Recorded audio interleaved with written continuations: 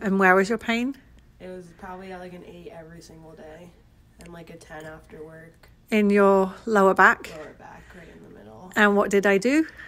Wanded me, and I laid on the biomat, and I actually am almost pain free. Okay, Like so it went to like a two. can you do the thing that you said you wouldn't have been able to do? Yeah. So before I couldn't do this, like without my back, literally being like it would hurt so much, and now I can just like bend over Yay! and stretch. Woo! And I didn't believe this shit at first, so this is my second time. And where are you?